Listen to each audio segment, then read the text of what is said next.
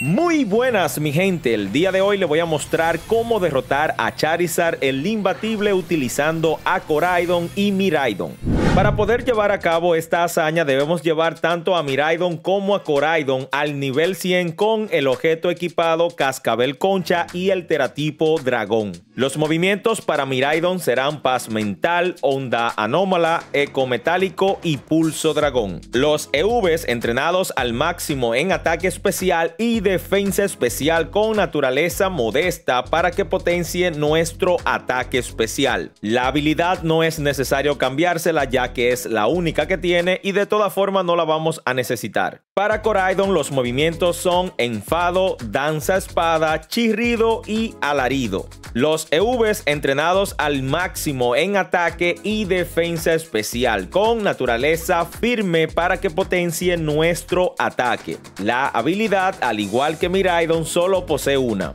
A continuación te dejaré los gameplays de estos dos Pokémon para que puedas apreciar de manera detallada cómo derrotar a Charizard el imbatible utilizando a Coraidon y a Miraidon. Así que ya saben mi gente, no se olviden de compartir el videito con todos sus amigos para que le puedan dar in the mother a este imbatible de 7 estrellas y como siempre digo, nos vemos en la próxima.